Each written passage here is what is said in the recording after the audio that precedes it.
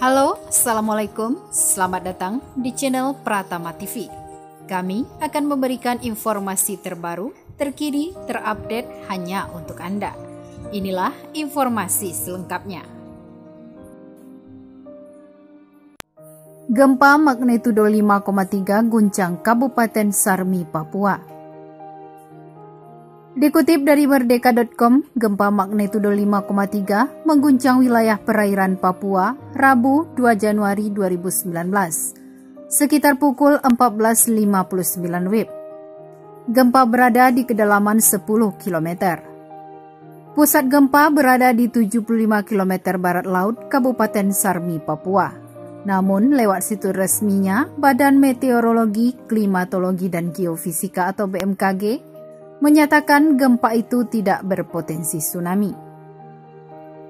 Sampai berita ini diturunkan, belum ada keterangan dampak gempa tersebut.